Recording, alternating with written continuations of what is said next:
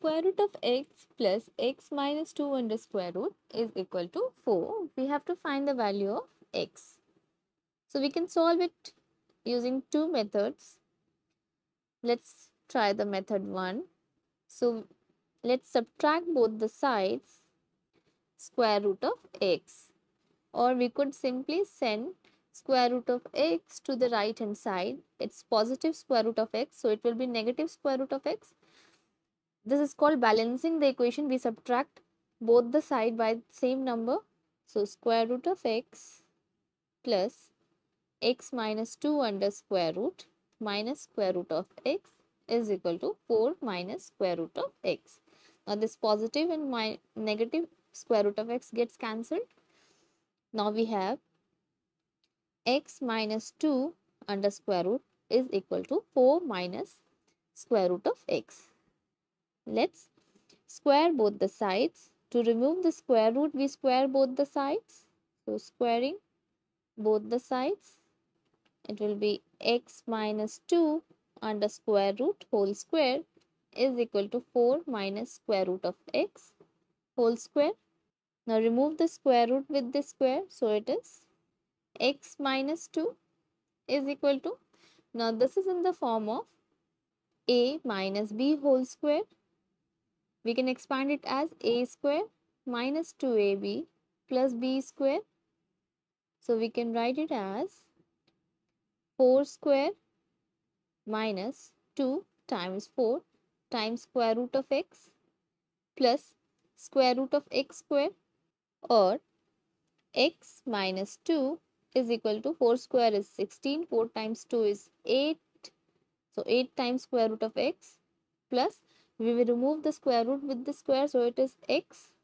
Now this x and then this x will get cancelled because if you send this x to the left hand side it will be negative x. So positive x and negative x will get cancelled.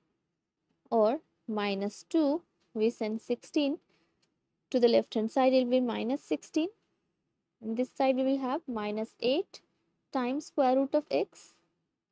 So it is negative 18 is equal to minus 8 times square root of x this minus and minus will get cancelled because when you multiply both the side by minus then minus minus will become plus so it is 18 is equal to 8 times square root of x. Divide both the sides by 8. So this and 8 and 8 will get cancelled.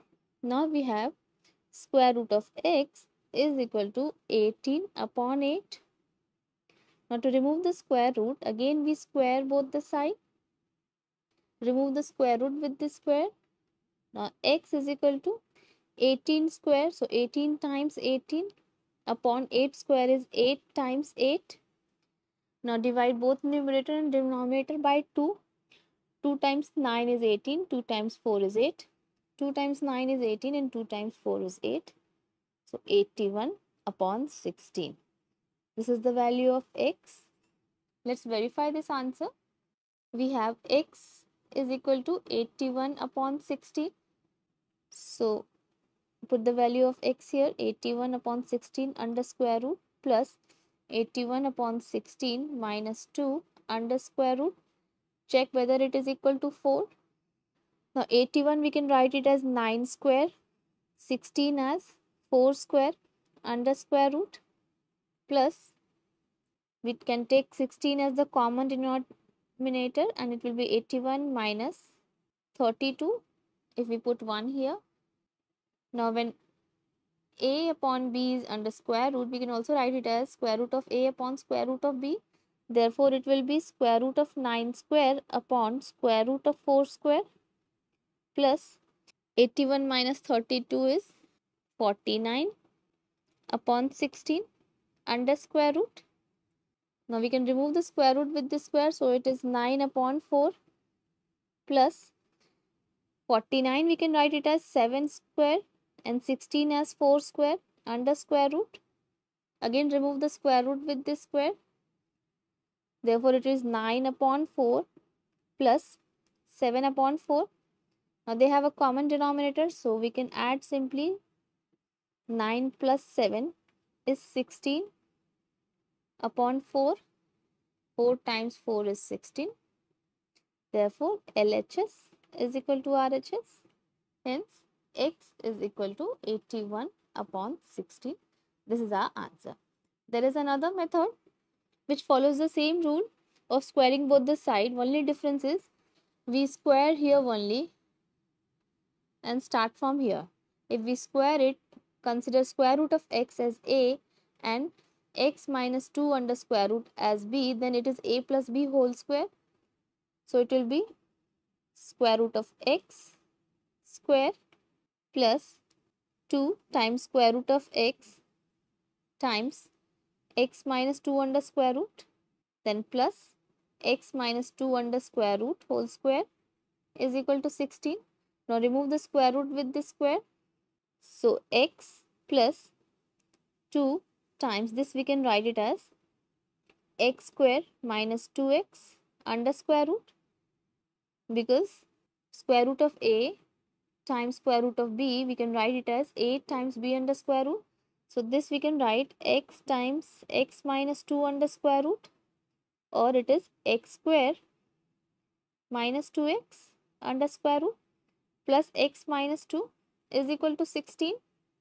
So it is x plus x is 2x plus 2 times x square minus 2x.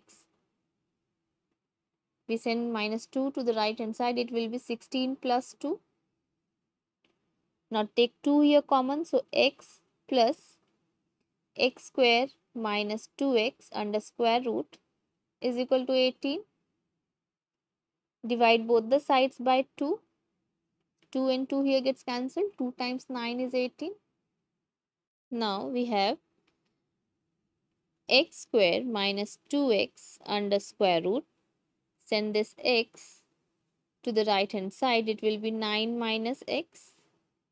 Now square both the sides.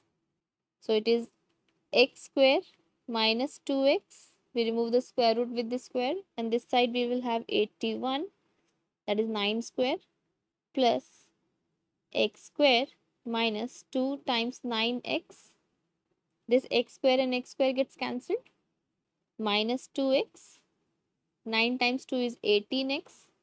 So this will be plus 18x this side and this here we will have 81 so this is 16x is equal to 81. Divide both the sides by 16. Therefore, x is equal to 81 upon 16. So these are the two methods that you can use. Which method did you like more? Which Let me know in the comment section. Thanks for watching.